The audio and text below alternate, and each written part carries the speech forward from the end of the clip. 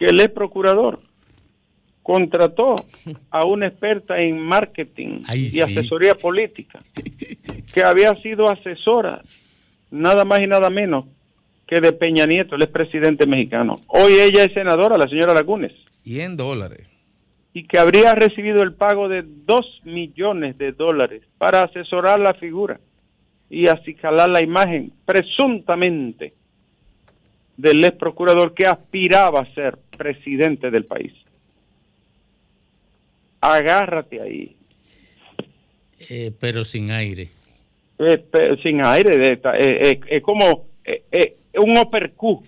Sí. Uppercut es el golpe que dan los boxeadores de abajo para arriba en la boca del estómago, dice el pueblo.